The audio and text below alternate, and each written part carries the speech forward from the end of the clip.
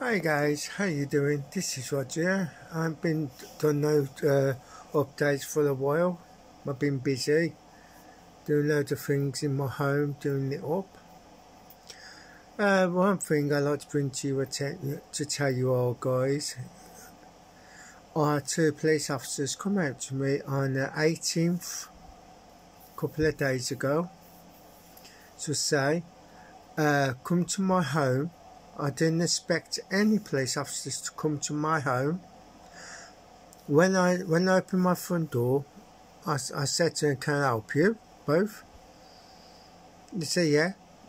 I said, I haven't got no appointments with you guys. Why are you doing at my front door? They said, we want your mobile number. I went, no. I said, what do you want my number for? Not entitled to have it. He said, "We're a police." I went, I don't care.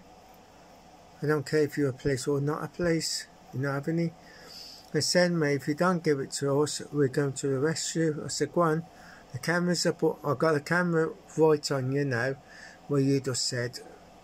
And he said, I don't care. I said, I don't give a fucking shit about you, I said. So then after that, I contacted 101, and then a 101 lady picked up the phone and said, Good evening, sir.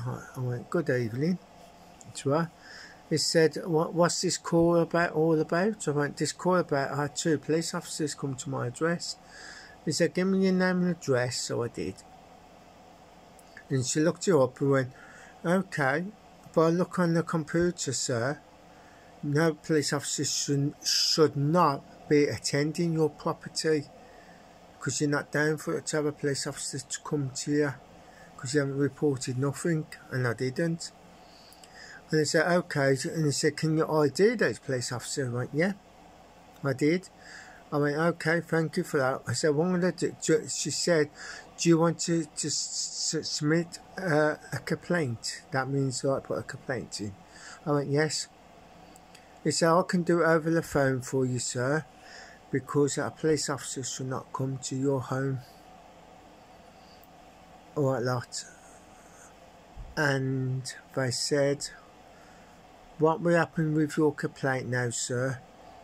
It will get passed over to the sergeants, the, the chief in the chief sergeant, and we're gonna, he will find out why this person came to your home for in the first place and they should not even be there.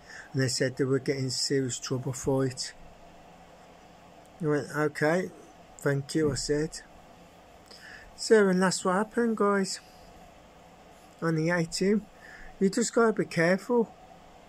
Because you don't know what any what's going to happen next. Like what I just told you, my side of the story. Two police officers, female and male, come to my door. They were not, they're not even supposed to be there in the first place.